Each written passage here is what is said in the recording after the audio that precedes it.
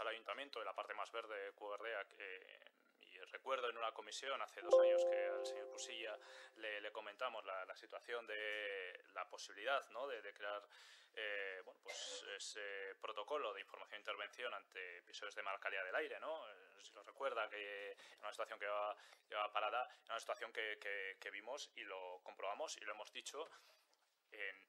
no hemos querido caer en el alarmismo, no hemos querido tampoco decir que el aire en nuestra ciudad eh, es de mala calidad pero lógicamente poniendo en previsión en ese contexto de lo que nos venía encima, porque lógicamente eh, en ese futurible ¿no? que, tenemos eh, ahora mismo, ¿no? en ese horizonte 2030 en el que nos encontramos, en esos eh, bueno, pues objetivos de desarrollo, sostenible, en esos acuerdos de lucha contra el cambio climático, una de las partes importantes es la calidad del aire de los municipios. Una cosa que no es solo importante porque sí, sino es importante por la salud de los vecinos y vecinas de, nuestra ciudad. ¿no?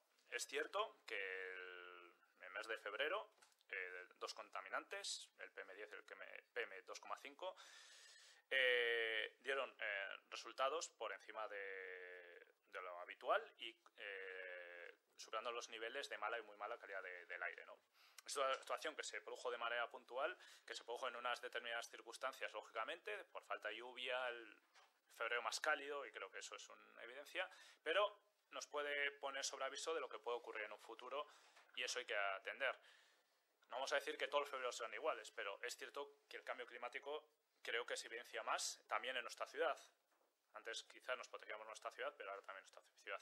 También hay otra circunstancia que queda aquí y que creo que hay que trabajar, quizás ya a alturas de esta legislatura es complicado, pero cada la siguiente, dentro de esa movilidad sostenible hay que trabajar muy bien con la reducción del vehículo privado, porque hablamos como si estos productos contaminantes vinieran porque sí, o surgieran porque sí, ¿no? Cuando el principal foco de contaminación mm, o de, de estos PEMES son los vehículos, especialmente vehículos antiguos, vehículos diésel.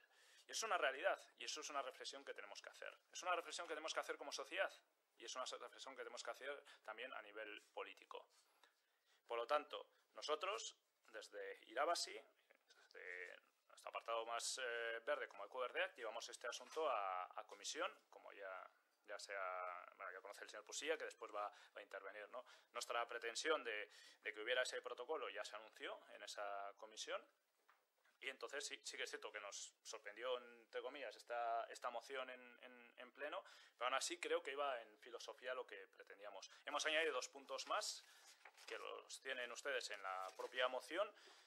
Eh, lógicamente, que se ha participado, trasladar al carbono de medio ambiente, la reacción del nuevo plan de gestión de calidad del aire y el último punto, el protocolo de información a la ciudadanía más que nada porque queremos que la ciudadanía se empodere, pero no para decir, eh, no sé cómo decirlo, para dar una imagen negativa de nuestra ciudad, sino para que sea también eh, empoderar y consciente de la necesidad de determinadas actuaciones, como es el menor uso del vehículo privado. Que hay eh, investigaciones que hablan de que el 40% del uso privado del vehículo privado en nuestra ciudad es o no es necesaria. Se podría haber utilizado otros medios de transporte o se podría haber utilizado la bicicleta o a pie. Por lo tanto, tenemos que trabajar en ese sentido. Creo que tenemos que empoderar a la ciudadanía para que conozca también las necesidades de las medidas que vamos a tomar a nivel político y que son muy necesarias para la ciudad. Y sí que yo creo que creo que vamos todos los partidos en, la misma filosofía antes de incluso de que venga y antes de hacer una segunda intervención que esperemos que no sea necesaria, sí el buscar un acuerdo. Yo creo que ahora mismo y en este tema creo que hay que buscar un acuerdo, que llegar a una moción consensuada y sí que pedimos, porque en nuestro caso por hemos, hemos hecho una enmienda de adición porque entendemos que se puede llegar a, podemos llegar a un acuerdo con la enmienda eh, inicial, no conocíamos la enmienda del Gobierno municipal y sí que pedimos que se intente llegar a un acuerdo en este sentido para que haya una, unanimidad y no tener que, elegir entre las dos eh, enmiendas. Esa es la, esperemos no tener que utilizar otro, otro turno.